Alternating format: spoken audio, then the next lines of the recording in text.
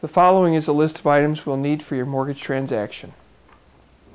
First, starting with the income, we'll need 30 days of pay stubs.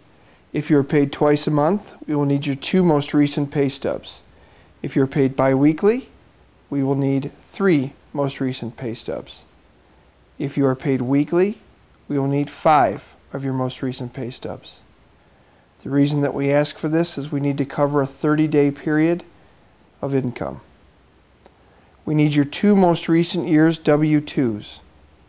If you've had multiple jobs throughout the same year, we will need all applicable W 2s for the year. We will need your two most recent federal tax returns.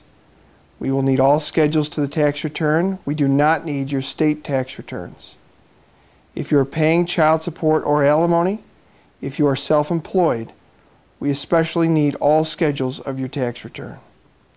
If it is easier for us to receive your CPA's name and number, we're more than happy to take down that information and contact your professional to have them send everything over to our office. Please provide us a clear copy of your driver's license.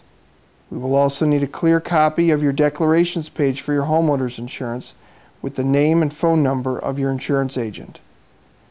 For refinance transactions, we'll need you to provide us a most recent mortgage statement and real estate tax bill.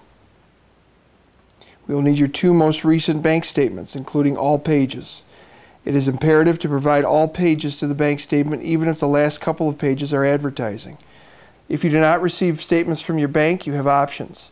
The first is to go ahead and print from the computer. If you print out your documents, it is important that you have your full name and account number on documents as well as all pages.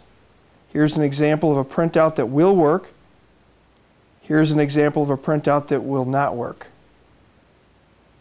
You may also go to your bank branch and have your teller print out a 60-day printout and have them stamp and sign every page of that document. For purchase transactions, we will also need a purchase contract. Please feel free to contact our office at any time if you have any questions. Thank you.